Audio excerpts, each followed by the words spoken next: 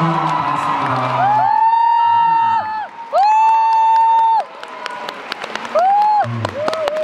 아, 네, 곡을 들려드렸고요.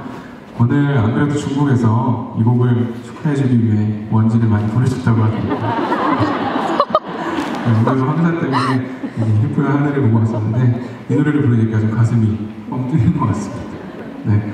아, 저요, 이제 이 김광수 다시 보기 콘서트 오늘 나오는 출연진 게 처음부터 끝까지 쭉 보면은 여러분들 다 아시는 분들이시잖아요. 그 중에서 제가 제일 막내예요. 한참 막내고요.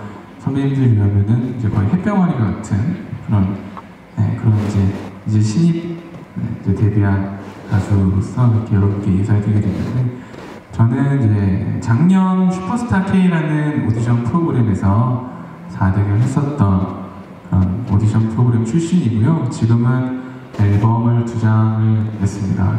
최근에 이제 답이 없었어와 고마워 내 사랑으로 활동을 하고 있는 홍대광이라고 하고요. 네. 아, 제가 제일 처음 음악을 했었던 거는 사실 이제 버스킹이라고요. 거리에서 음악을 하는 이제 그 행위를 버스킹이라고 하는데 그 버스킹으로 한 5년 정도 이 가수로서의 기반을 좀 다졌었어요. 어, 주로 했었던 곳이 서울에 어, 다 아시겠지만 청계천이라는 곳이 있잖아요. 거기에 장통교 위에서 버스킹을 꾸준히 했었었는데 오늘 갑자기 이제 그 생각이 좀 나더라고요. 옛날 생각이 좀 나더라고요. 어느 날 제가 이제 버스킹을 뭐 하고 있는데 어떤 한 분이 오셔가지고 말없이 한참 동안 저를 의지하고 가시는 거예요. 그러니까 노래가 한 세 곡, 네 곡이 계속 지나가고 있었는데도 정말 미동도 없으시면서 깊은 노래를 듣고 계셨었어요. 그러다가 이제 공연이 다 끝나고 정리할 때쯤에 쪽지하고 돈몇 푼을 이렇게 주고 계셨었습니다. 네. 그 쪽지를 나중에 읽어보니까 그런 얘기가 써 있는 거예요.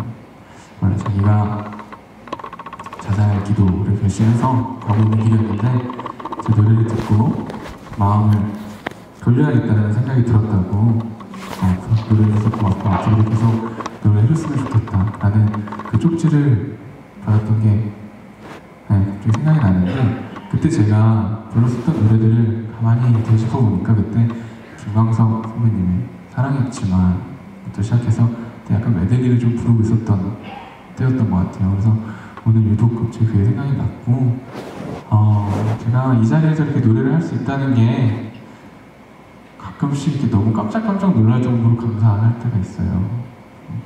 내가 그 누군가에게 마음을 어, 감히 치유할 수는 없겠지만 그 마음을 어, 전해주기 위해서 노래를 시작했었는데 어느 순간 이렇게 많은 사람들 앞에서 노래를 하고 있구나 라는 생각에 가끔씩 깜짝 놀라기도 하고 오늘 또 들어서 여러분들과 이렇게 같이 호흡하면서 노래를 하고 있는데 이 중에 단 한 분이라도 또 그런 마음이 드셨으면 하는 마음으로 또 노래를 하고 있습니다. 얘기가 좀 길었는데요.